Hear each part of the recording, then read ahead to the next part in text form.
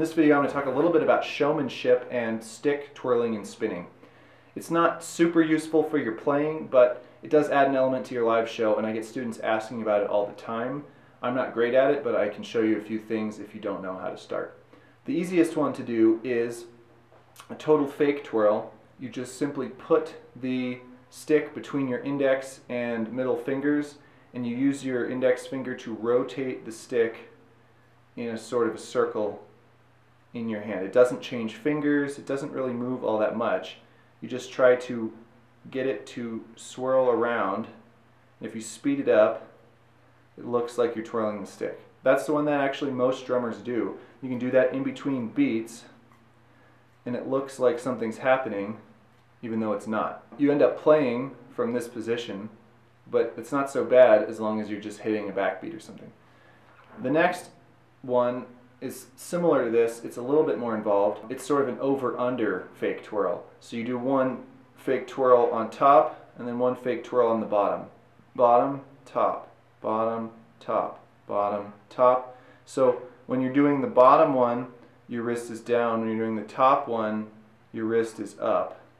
So it ends up, you're just turning your hand over, but essentially doing the same thing we were doing in the last one. Just making a little figure eight circle type thing with the stick. Then you can get into real twirling. The backward twirl where the stick goes back towards you on the first one. Just take your fingers in succession, put them on top of the stick, and rotate in the same direction. And then when you get to the end, I like to stop at this finger, although you could go to your pinky. Then once you get to the end of your fingers, you do the reverse. You put the fingers on the front, but you still rotate in that same direction and eventually you will come around back to the starting point. So, then you can rotate in the forward direction as well. Just drop the stick and keep it rotating in that direction through each successive finger. If you go all the way through, should end up back in the front. I'm not really good at that one. The next thing you can do is you can actually flip the stick in your hand, which is difficult at first, but as long as you get it to rotate instead of throwing it around, it's not that bad. So you don't want a lot of lift to it. You just want it to rotate in place. So you're throwing the back end down as much as you're throwing the front end up. And there's going to be just a little loft so that it comes right back. I do this one a lot while I'm talking in drum lessons, probably distracting for the students, but I can now do it with my eyes closed, sometimes in both hands with my eyes closed, so I can flip two at once just because I have done it enough times to where I know the timing, how hard I flick when I need to close my hand, and the stick is just going to be there.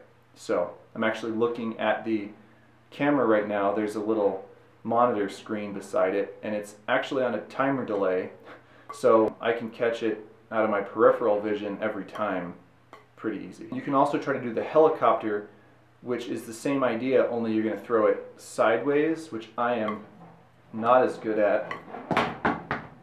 See, but it's possible. There's one more. It's you start doing a backwards twirl.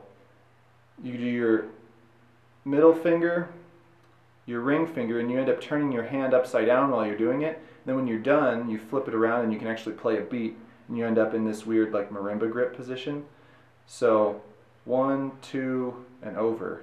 One, two, and over one finger, two finger, and over. And you can play backbeats like that. You're actually spinning it, but it's useful in the middle of a beat, not just in a dead spot in the song. So that's all I got. Hope that it at least sort of gave you an idea of what to mess around with.